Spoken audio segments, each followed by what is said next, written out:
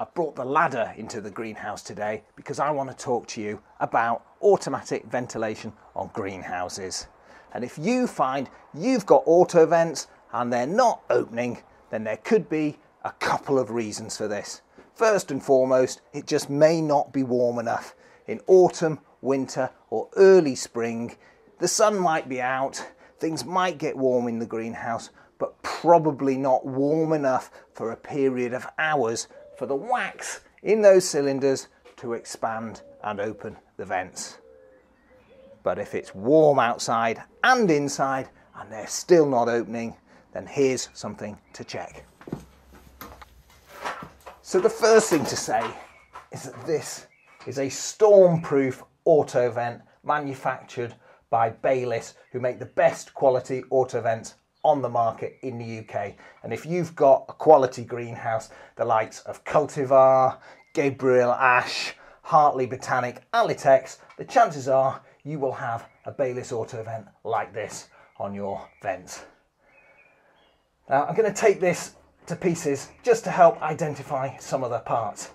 The part I'm unscrewing at the moment is called an adjuster and this adjuster is hollowed out to accept the piston on this cylinder. And you'll see this better if I can disengage it by hand. So there's the cylinder. That is a wax filled cylinder. And when it's warm, the wax in that cylinder expands and that in turn pushes out this piston and that is what opens your vents. I'm just going to push that back in.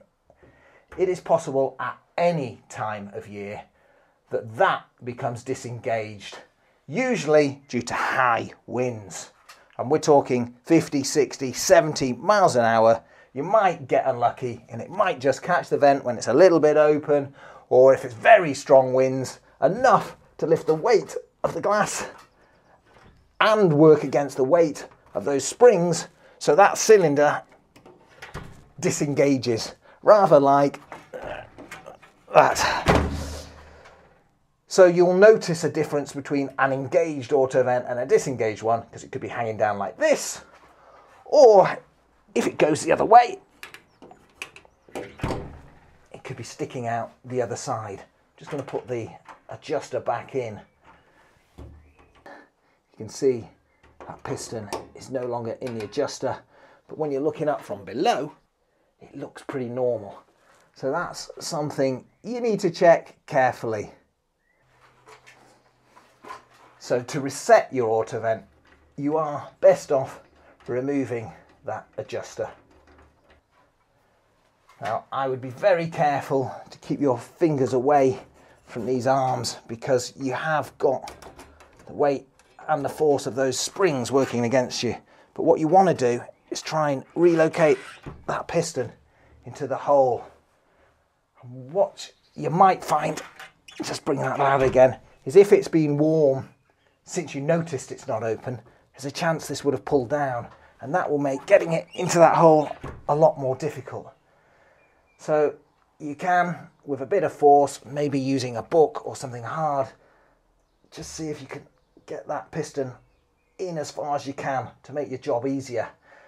And it will be easier when it's cold, like first thing in the morning, as opposed to the middle of the day when wax in there may have expanded. So I'm now going to lift the vent using a bit of force and just try and locate that into that hole.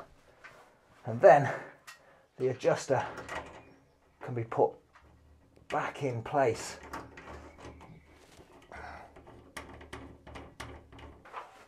Well, hopefully that will put you back in business. The only other thing that might be to blame is the auto vent is past its best.